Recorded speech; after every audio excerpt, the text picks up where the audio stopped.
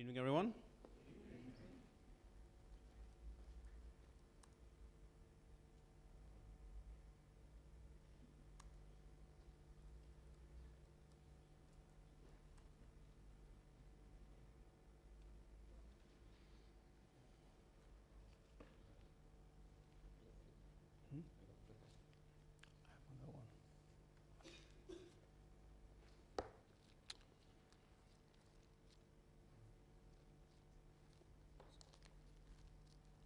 If you have a Bible, please open to Revelation.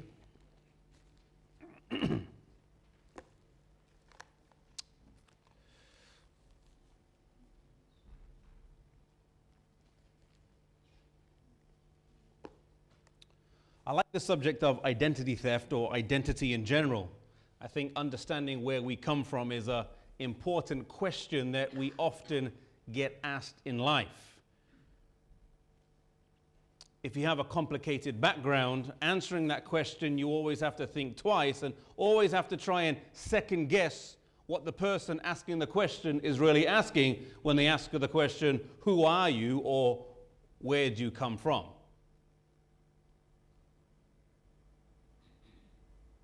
Growing up here in this country, even though I was born and raised here, neither of my parents were born or raised in England.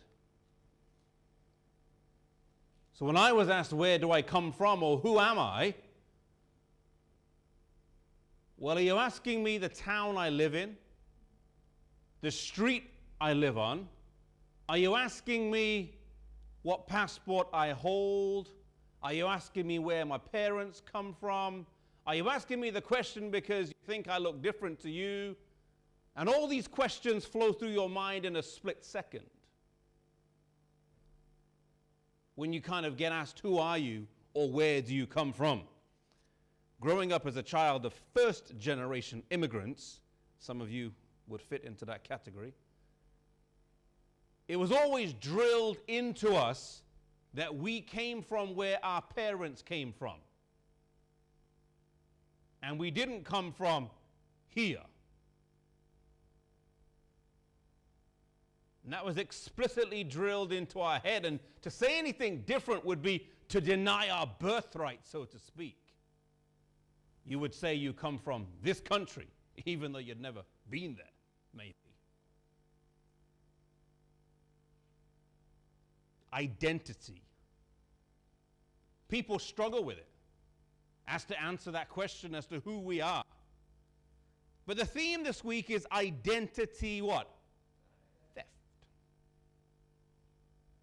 Let's bow our heads for a word of prayer as we start. Father in heaven, we pray that you would speak to our hearts. I pray, Lord, that you would speak through me at this time. I pray, Lord, that your word may be clear, and I pray, Lord, that your Holy Spirit would pierce through and touch our hearts. We pray in Christ's name. Amen. Now, if you were to steal something from somebody, hypothetically, I would think there are certain people from whom it's easier to steal from than others. Now, let me give you an example. On the screen there behind me, you can see a picture of a guitar. It's a guitar that my wife owns and sometimes plays. Really. Her uncle gave her the guitar. It's, it's, uh, well, it's kind of squashed a little bit on that screen there. It's a mini guitar. It's not a full guitar, but it's not as small as a ukulele. It's not as big as a guitar. It's kind of like somewhere in the middle. Her uncle gave her the guitar and said, you know, here you are. If you want to learn to play, play this. Now, if you were to steal this guitar from our house, let's say I invite you around, you come to our house and enjoy some fellowship, and as you're leaving or as you're packing the car, you pack my, my wife's guitar in your car as you go, we would notice pretty quickly that you'd stolen our guitar.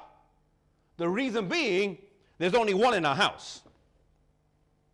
Now, my wife's uncle who gave her the guitar, I don't know how many guitars he has. He plays ukulele, he plays I don't know if you say professionally, he plays all the time. He, he converted his basement into a 60 seater basement, and they have guitar concerts, whatever you call it. He probably has 30 or 40 guitars lying around his house of all shapes and sizes. If you wanted to steal one of his, he may not notice straight away.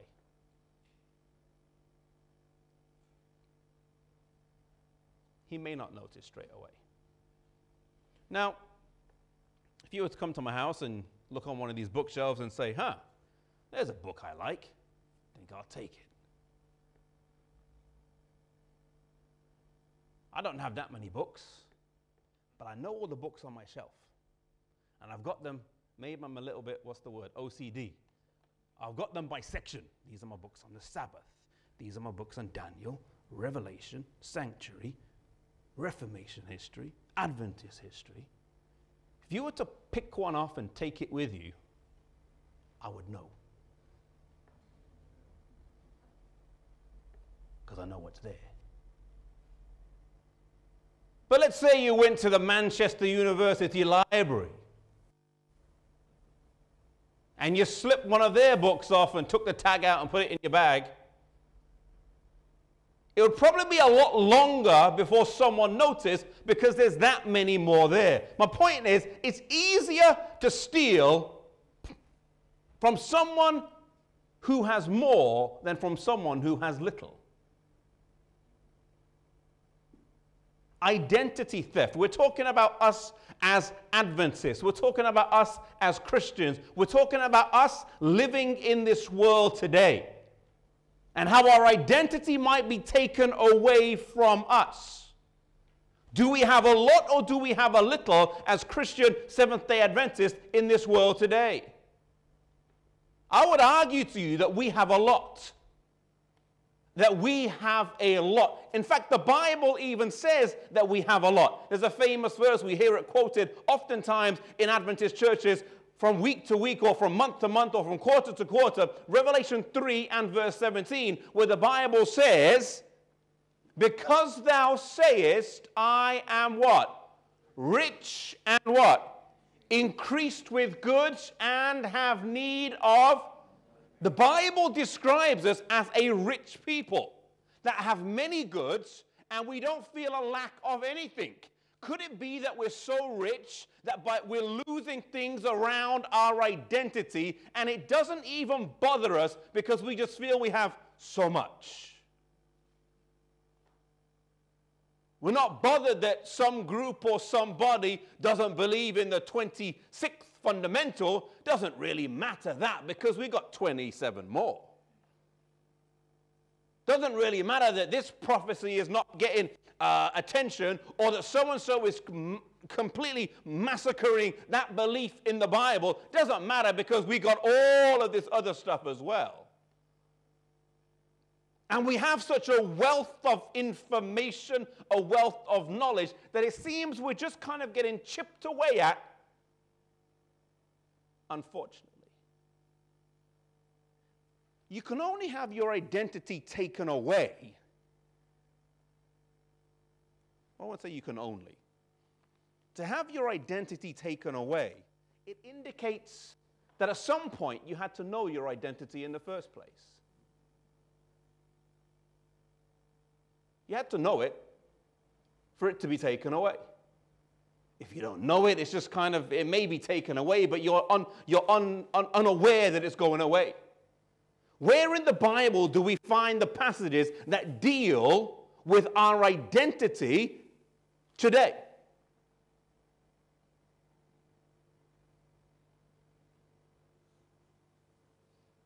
What is our identity today?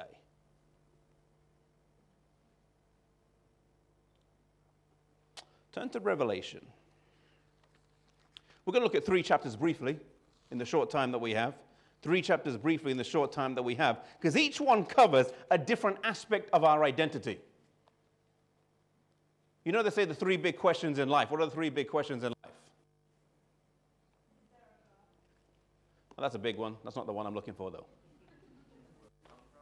Where do we come from? Before we ask where we go, where do we come from? Why are we here? And where are we going? Those are the real big questions that no matter what your religious or faith background is, those are the questions that you could say trouble mankind. Where do I come from? Why am I here? And where am I or where are we going? Those three questions we found answered in three chapters of Revelation. Three chapters that are very important to our identity, and three chapters that I believe we shouldn't just know the reference to, but we should actually be able to know them and be able to unpack them because it forms who we are. Understanding our background gives us a greater sense of surety in this world today. Revelation 10 is the first chapter that I'd like to take you to. Revelation chapter 10.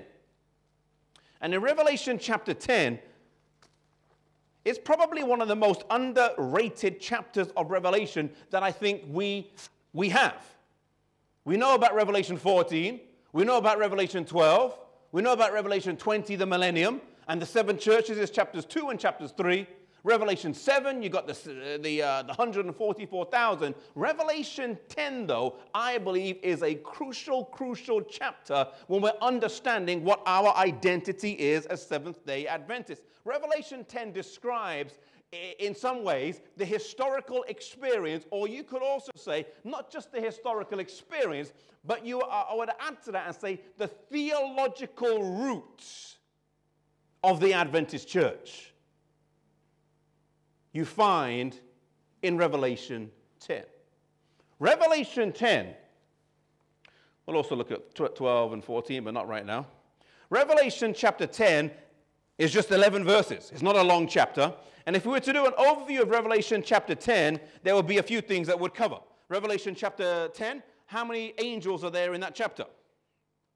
We've got an angel that comes down from heaven to earth in verse 1. Then we have a little book that is open in his hand, verse 2. Then we have him one foot on the sea and one foot on the earth. Then we have him crying with a loud voice as when a, when a lion roars and seven thunders are uttered. Then we have him swearing by him that lives forever that there should be time no longer. Then we have him giving John a book to eat. Then we have John eating the book. And then we have the bitter experience. After the bitter experience, John is told to prophesy again. Now, we're not going to go through all of these points in detail tonight. We don't have time, and that's not the purpose of, of our presentation this evening. This is just an overview of the chapter of Revelation, chapter 10. Now, in Revelation chapter 10 and verse 2, when the Bible says he had in his hand a little book open, and he set it his right foot on the sea and his left foot on the earth. And he cried with a loud voice. Question for you What is the little book open in his hand?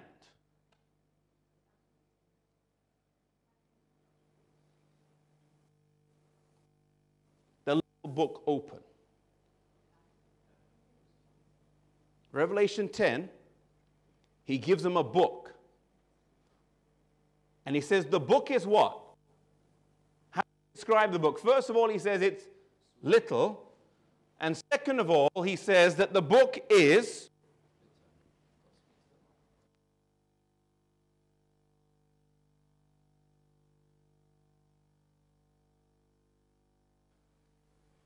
Test, test, test, test, test. Both working. How does he describe it? He says it's, it's a little book he says open. Before we get to the sweet and bitter and stuff, he says it's a little book that is open. Now, when a little book is open, some of you already know the answer to the question. I just want you to think it through as well. And for those that don't know the answer, we're just going thinking it through. If the book is open, what's the implication? Books don't, you don't buy a book like that. You buy a book like, like that. You buy a book closed. If the book is open, the implication is the book has previously been closed. This is very basic, but it's very integral to understanding the Bible passage. So when, when in Revelation he says there was an angel, he had a little book in his hand, and the book was open, in order to find out what this book is, we have to find we have to find somewhere in the Bible where we find a book that is closed. Does that make sense? Makes sense. So, what is the little book that is in the angel's hand? There is nowhere in the Bible, apart from one passage, where you can find indication of a book that's closed. Now, some people say, well, what's that book, that, the little book that's open in the angel's hand? Well, some people say, well, it could be the, the seven seals in Revelation. This is chapter 10. You've got the seven seals in chapter 6, 5, and 7. Not really. Not really. There's only one place, and it's in Revelation chapter 12. Sorry, not Revelation. I always get it mixed up when I say it is.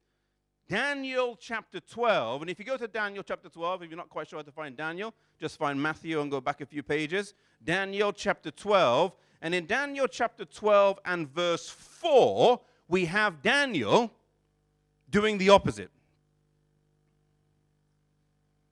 Daniel chapter 12 and verse 4. And the Bible says here in Daniel 12 and verse 4, it says, But thou, O Daniel, shut up the what? Words and seal the book even till when? To the time of the end. And then it says, Many will what? Run to and fro, and knowledge shall be increased. Okay? So here we have Daniel shutting up the book until a specific time. He shuts up the book until the time of the what? Now, when is the time of the end? The verse doesn't tell us. It's at the end, almost, not quite. the verse doesn't tell us. It says, seal the book to the what? Time of the end. Now, in order to find the time of the end, let's read verse 5, 6, and 7. It will tell us exactly when the time of the end is. Verse 5, it says, Then I, Daniel, looked, and behold, there stood another two. The one on the one side of the bank, basically, that verse doesn't really mean anything to the question we're as- asking right now. Verse 6, And one said to the man clothed in linen, which was upon the waters of the river, here's the question How long shall what? It be to the end of these wonders. So verse 4 says the book will be sealed until the what? Time of the end. Verse 5, for the purpose of answering this question, we just ignore it. Then verse 6, at the end of the question, it says, How long will it be to the end of? So they're basically asking the question. Verse 7 is then the answer. Verse 7 says, And I heard the man clothed in linen, which was upon the waters of the river, and he held up his right hand and swear by him that lives forever and ever, that it shall be. Here's the answer. That it shall be for a what? Time, times, and what? Half a time. So in verse 4, when he says the book will be sealed till the time of the end, verse 6, he asks the question, when is that going to be? Verse 7, he answers the question and says, it will be until a what? Time, times, and half a time. Now, we don't have time, times, and the dividing of times. This phrase comes up about 10 times in Scripture. A time means a year, a times means minimum of two years, and half a time means half a year. Add that up, you get three and a half years. Some passages call it three and a half years. Some say time, times, and half a time. Some say time, times, and dividing of time. And other passages will say 1,260 days, which is the prophetic time period that we believe started in 538 and ended in 1798. This was the time period when the Roman Church ruled as a joint geopolitical power. Sorry, religio political power. From 538 to 1798. There is a connection between Daniel chapter 12 and Revelation chapter 10, and it's integral to our identity as Seventh day Adventists. It's unfortunate that more Adventists understand the link between Daniel 7, the little horn, and Revelation 13, the beast, than know the connection between these two chapters. There's more Adventists that can do a Bible study on how the little horn is the same as the beast of Revelation 13 than can connect the book of Daniel, chapter 12, with the book of Revelation, chapter 10. We should be well versed in this connection because it forms an integral part of our identity we still haven't quite got to yet. But these two chapters are linked.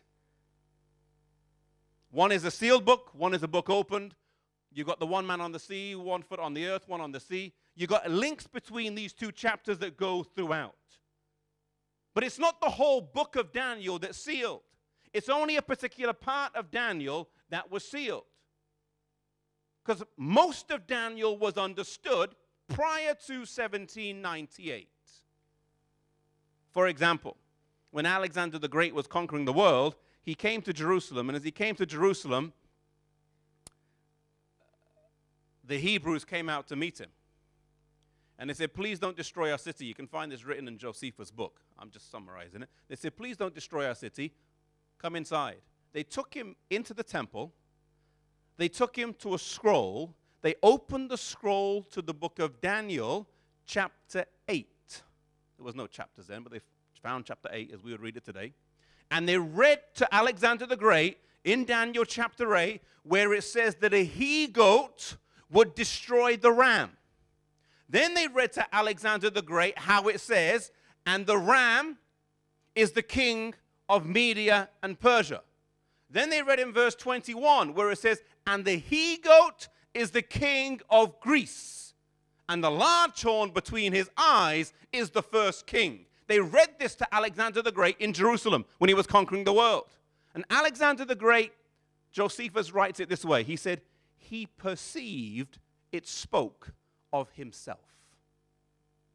And he was very pleased, and he marched on his way, and Jerusalem remained undestroyed.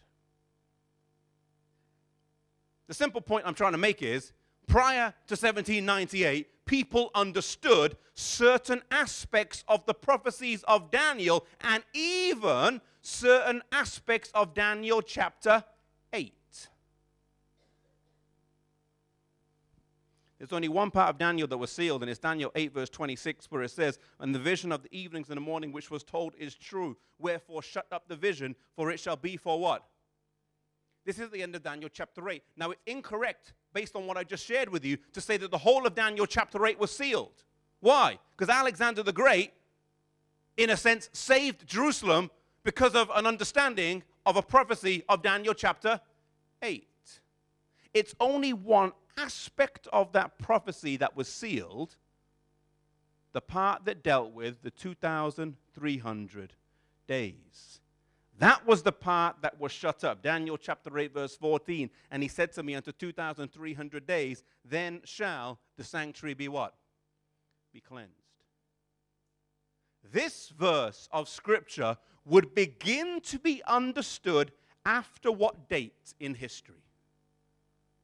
1798. It was sealed until the time of the end. After 1798, people began to understand and they started studying in the Bible.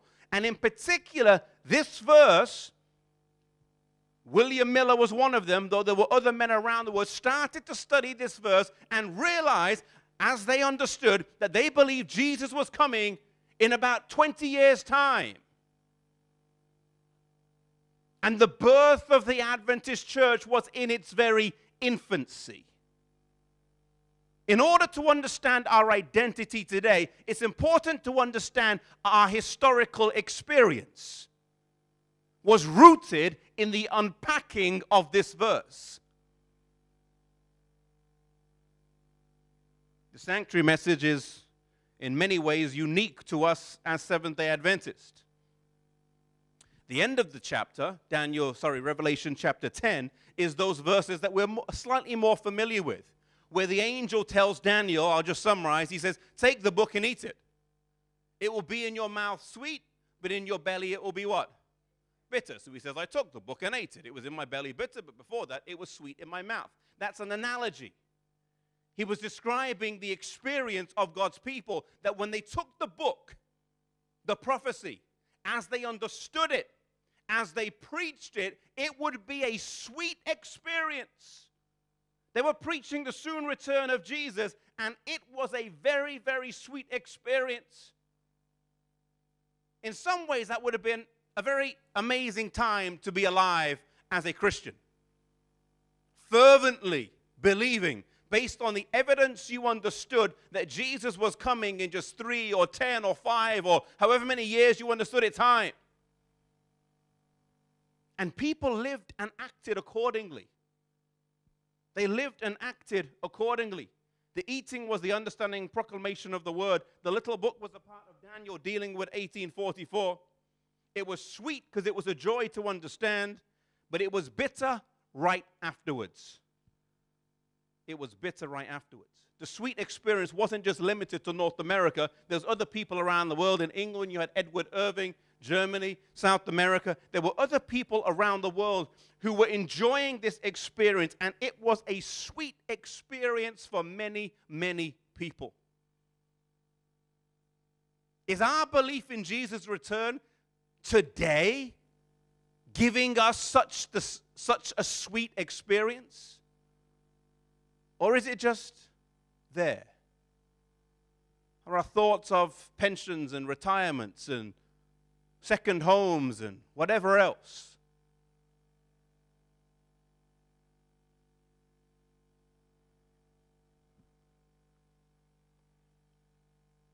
People were actually paying people back money taking adverts in newspapers. Hey, if there's anything I've done, if I owe anyone any money, let me know. Because Jesus is coming and I need to sort out these things before I go.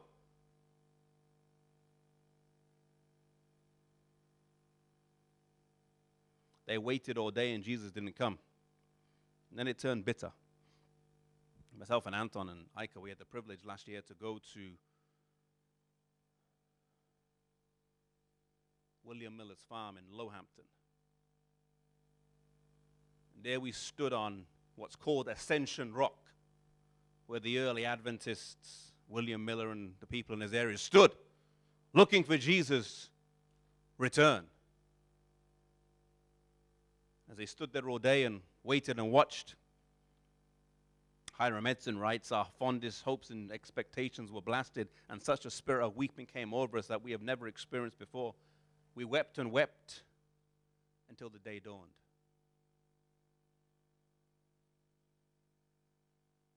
This guy waited all day Tuesday, and then he still waited on Wednesday. Just in case Jesus was keeping time in Australia, I don't know. But like, just just waited. Just waited. Then it says he lay prostrate for two days without any pain, sick with disappointment. People lived and acted their faith out. We went to a few places as well where farmers left their potatoes in the field because they said, Why harvest them? Jesus is coming. And there's two instances. We filmed a lineage episode on it. I'll give you guys a sneak preview. There's two instances where two farmers left their, their, their, their potatoes in the field. One of them left his potatoes in the field until, until the beginning of November and then went and dug them. And miraculously, all the other potatoes in the area caught a disease that year, the ones that were dug on time. Because he left his in the ground about two months longer, he was the only farmer in the area with any potatoes. And he made a pretty penny. There was another farmer who left his potatoes in the field until March because snow came. Then he told his wife, I'm going to go dig the potatoes. She said, Husband, no.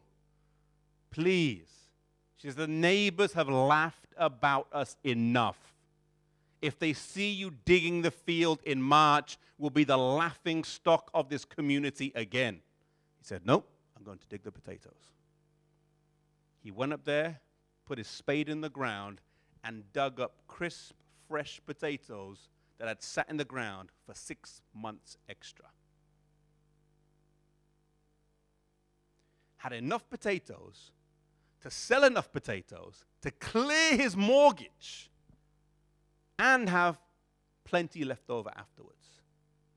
There are just two instances of how God looked after his people.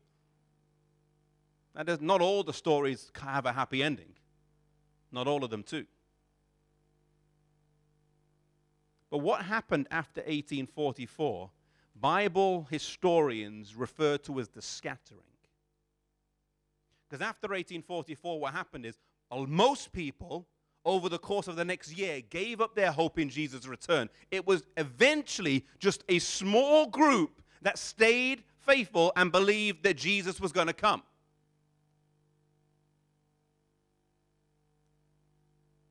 Then, about a year later, God started to gather his believers together again. They were scattered over a misconception of the sanctuary and the second coming. Those who stayed faithful came to a correct understanding of the sanctuary, but it wasn't the sanctuary doctrine that God would use to gather his believers back together again, to solidify them, for them to rally around. It would be a different teaching and a different doctrine. Which doctrine was that? It would be the Sabbath. Around 1848, the Sabbath began to be understood. Maybe you learned in your Pathfinder class a lady called Rachel Preston Oakes, who saw Frederick Wheeler preaching on Sunday and rebuked him after the service. Amen. She was tactful. And then he became the first Sabbath keeping minister. And then another guy called Preble this is fascinating, wrote a tract that J.N. Andrews read. Then Uriah Smith, no, Joseph Bates read this same tract that Preble wrote. Then Bates wrote a tract that Ellen White read, and she was convicted on the Sabbath. The sad part is that Preble left the believers three years later, but God did use him. J.N. Andrews got converted, Ellen White got converted. And then slowly, this belief of the Sabbath, coupled with the sanctuary, would form the defining uniqueness of this new Seventh day Adventist movement. This is the early stages.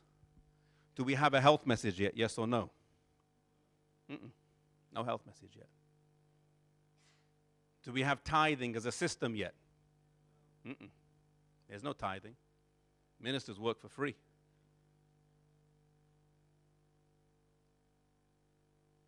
The belief on the state of the dead wasn't, wasn't settled yet. But we had the Sabbath in the sanctuary. And then slowly beliefs would get added as time went along. Revelation 12 talks about the historical experience of the Adventist church. In many ways, it answers the question where do we come from? Revelation 12 talks about the characteristics of God's church. Revelation 12. And there's a couple of characteristics in Revelation chapter 12 that are interesting and, and, and, that are unique. And to me, when I look at these characteristics, it gives me greater confidence in knowing that I believe the Seventh day Adventist church is the remnant church of Bible prophecy. We're not just another church that happens to go to church on a different day of the week and eat weird food. But we are a unique movement specified in the Bible, not just by our experience, but also by our characteristics. Revelation 12, verse 14, the Bible says, But the woman, a woman in Bible prophecy represents a church, was given two wings of a great eagle that she might fly into the wilderness, where she is nourished for how long? For a time, times, and what? Half a time from the presence of the serpent. Now, what does this text tell us about the woman or the church? What does it tell us? It tells us that during that time period of a time, times, and half a time, where's the woman? What's she doing? She's hiding. Now let's put two and two together and let's get four.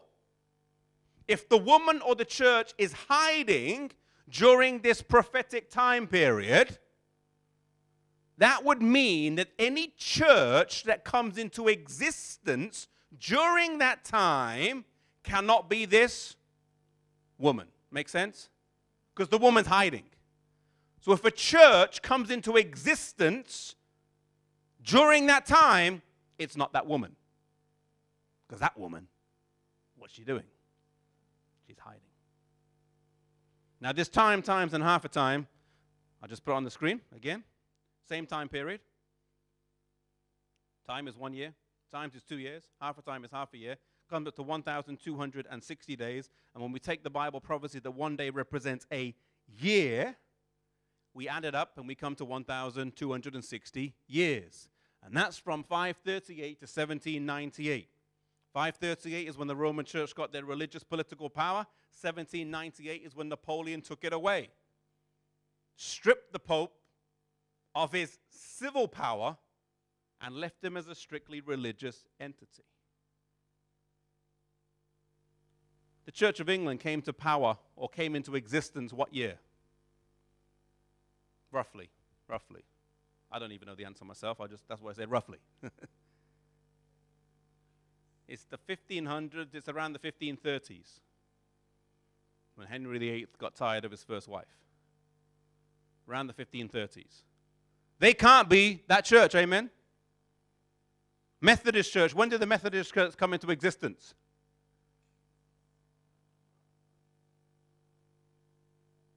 The late 1700s. Late 1700s. They also cannot be that, that woman. Because the woman is what? Hiding. The Baptists, when did they come into existence? 16, 1700s? I think. Somewhere around there. They cannot be that woman. Mormons, when do they come into existence? When did they come into existence, church? 1830s, 40s. They could be. Based on this one identifying mark. Jehovah's Witness, when did they come around? 1800s too. Seventh day Adventists, when did they come around? Same time. Verse 16 says this But the earth helped the woman. Who's the earth in Bible prophecy in Revelation 12 and 13? Revelation 13, verse 11. The beast comes up out of the earth. The earth was a sparsely populated area, opposed to the sea, which was a populated area.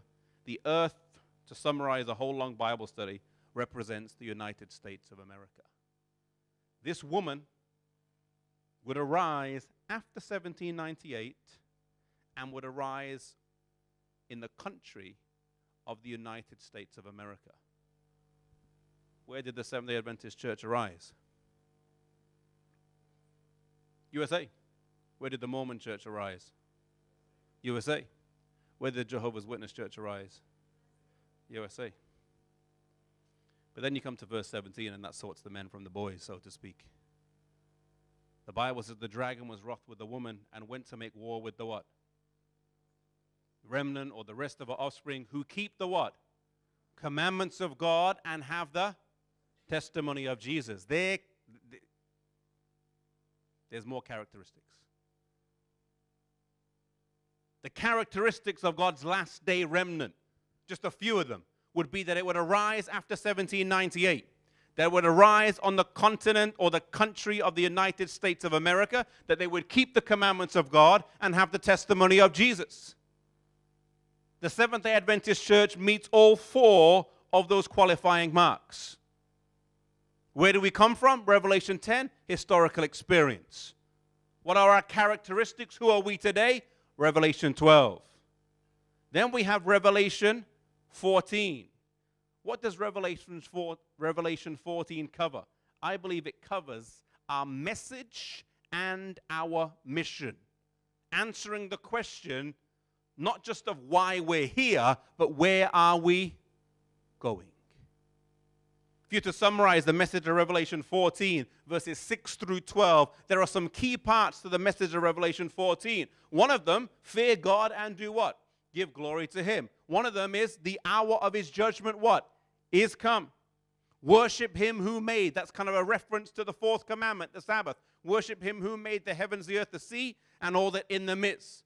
Verse 8 Babylon is fallen. This message would also point out false worship and call it as fallen the mark of the beast message is there in Revelation 14, verse 9, verse 10, verse 11. And then verse 12 says, Here is the patience of the saints. Here are they that have the, sorry, keep the commandments of God and the faith of Jesus. You may have heard me say this before. The Adventist church does not have a list of doctrinal beliefs. I know we got 28 fundamentals, but we do not have a list of doctrinal beliefs. The Adventist church is unlike other churches. If you go to the Baptist church, they've got a list. If you go to a Methodist church, they've got a list. And while we may have a list, I would argue it's not a list, but it is a system. What do I mean by a system? Every belief supports another belief, and none of the beliefs contradict another belief. Meaning, what we believe on the state of the dead does not contradict our second coming belief, which does not contradict our millennium belief, which goes in line with our hellfire belief. It all is consistent. But you could also argue that there's another belief or teaching that's enwrapped there in Revelation 14, verse 12, that keeps them all together as well. Ellen White has a quotation where she said, The three angels' message.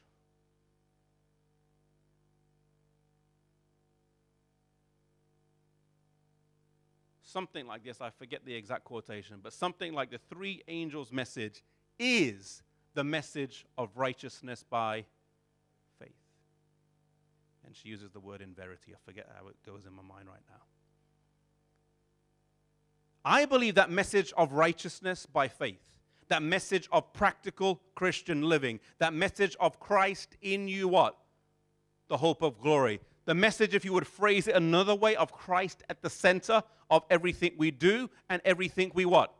Believe is the glue that takes this from being a list to a system.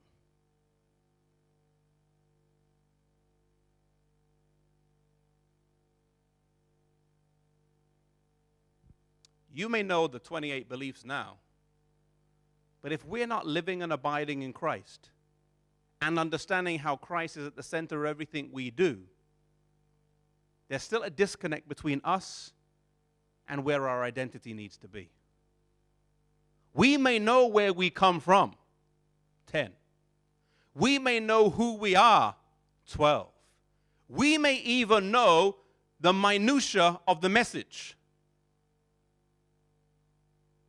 But without that kind of stamp that draws it all together of Christ in us and through us, with our identity in Him, it just is a lifeless list of details that doesn't really have any cohesion or power.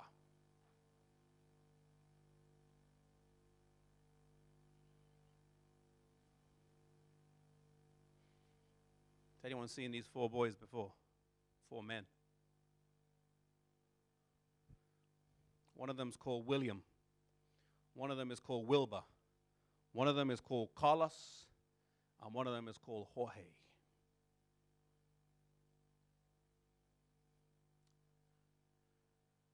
It's a fascinating story. Fascinating.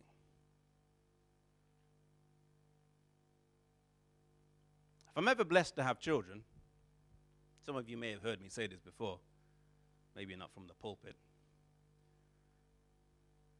But I've always said I'd love to have a set of twins.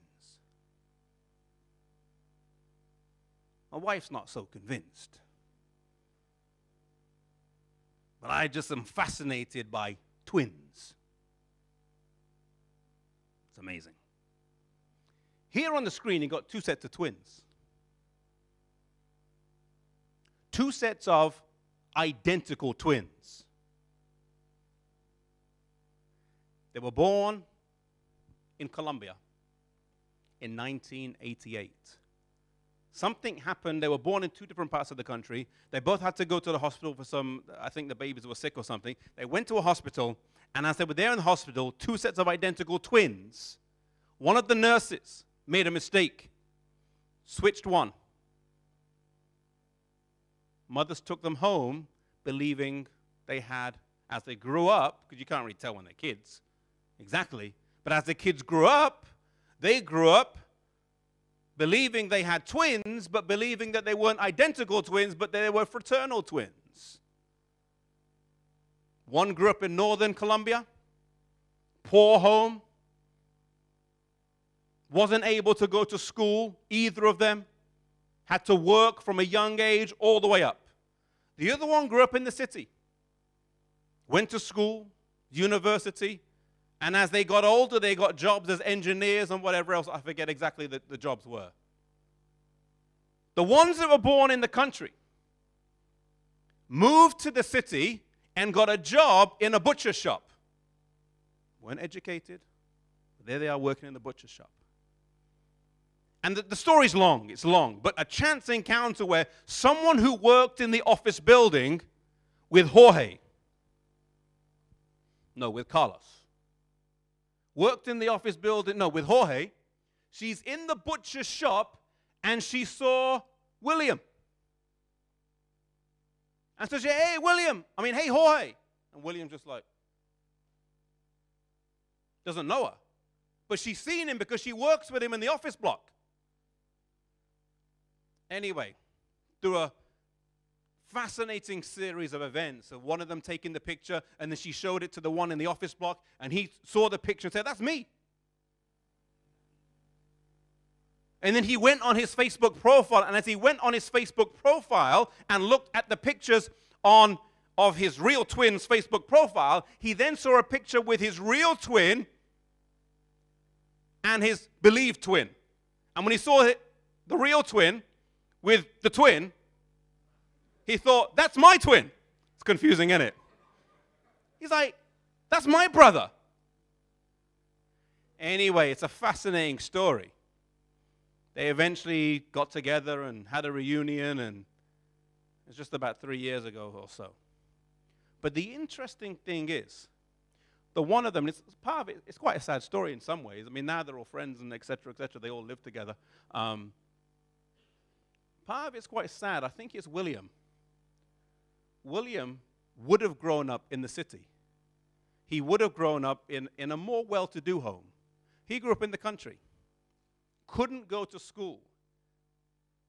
But he always wanted to go to school. And he says, The only time I got angry at my mother was when I was about 16 or 17, and I got angry and I shouted at my mom, which wasn't his mom, but he thought it was his mom. It's like I shouted at my mom and I told her she should have made me go to school. She should have let me go to school. He lived five hours walk from a school. They would have had to had him walk to school and paid to stay with someone, and the family just couldn't afford it. And he was like, You should have found a way for me to go to school. And when he first found out about his twin in the butcher shop, he sat down and just cried his eyes out because he always felt that there was, there was something different between me and my family. Not only did I look different, but my personality and everything was different. And when they got together, it was fascinating, and it's a whole argument of nature, nurture, etc., etc. And they found that even growing up in completely opposite homes, they had the same characteristics. But he always felt something was missing. And the other one was on Carlos. Carlos grew up in the city. He grew up in the, the nicer life, so to speak. But he always felt the odd one out in his family, even though he was a twin. He didn't look like his twin. He didn't look like his brothers and sisters. He didn't look like his parents. And his personality was different to all of them. And he always felt growing up there was something not quite right.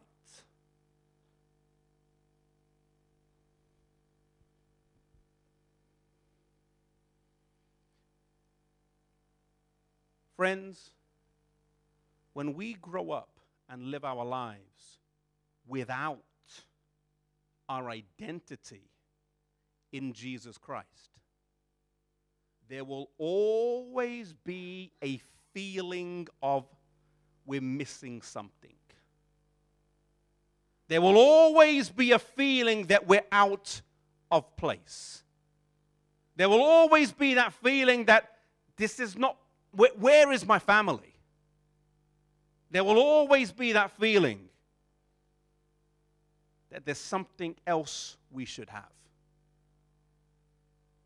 Our identity needs to be in Jesus Christ,